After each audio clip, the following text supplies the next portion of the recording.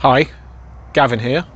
My website's hickorygolf.co.uk. I thought I'd do a short video to show these clubs um, that I've been renovating recently.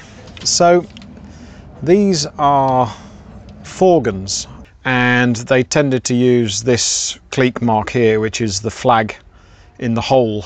So actually this set is, uh, a lot of them are branded with the Forgan name but one or two I've just got the, the cleek mark uh, the same and then different uh, professional names on there. Just thought I'd, I'd give a quick run through. So first we have an iron that's got a number one on it and also it's worth saying when it comes to hickory clubs that um, a one iron or a five iron or whatever is not the same loft as today's irons. So I measured this one iron and it's got a loft of 22 degrees.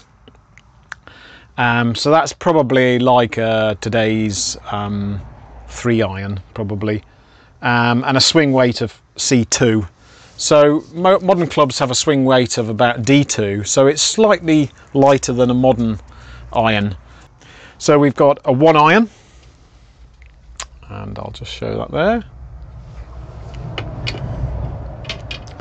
Then we've got a two iron, which is a loft of 26 degrees. So we've gone from 22 to 26. Then we've got a three iron. And you can see that's one without the Forgan name, but it's got the uh, flagging hole cleek mark. Um, it certainly was made in the same forge. So that is 30 degrees. Then we've got four iron.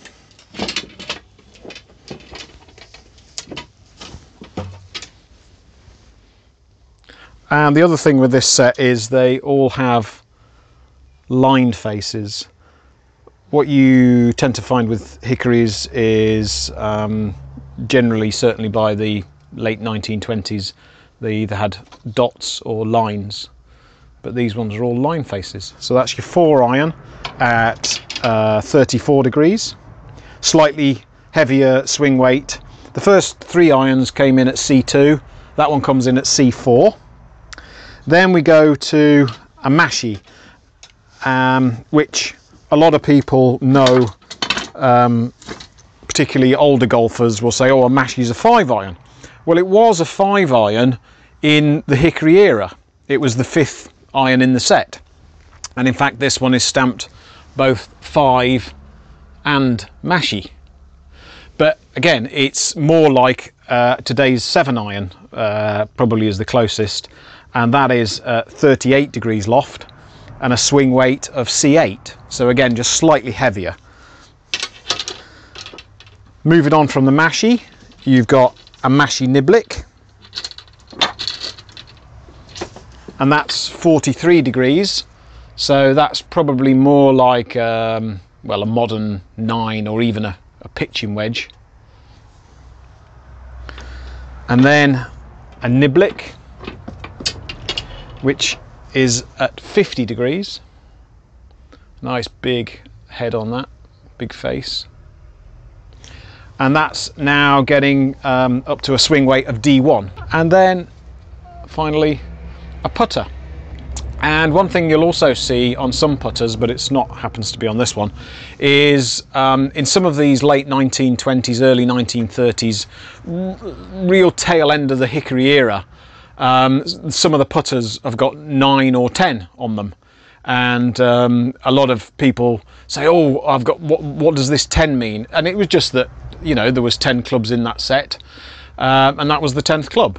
Um, also, some of these match sets, uh, people like Forgan or Gibsons or Nichols, sometimes they'd sell a set of seven clubs, or eight clubs, or nine clubs, or ten clubs. So actually, sometimes the putters might be. Um, I have even seen putters stamped number eight. I've certainly seen putters stamped number nine, which is quite common, and then number 10, which was, I think that sometimes uh, to make a 10 club set, the extra one they had in there was a jigger that is about a modern six, sort of comes in about the number sixth. So there we are, that's just a quick run through of these Forgan irons.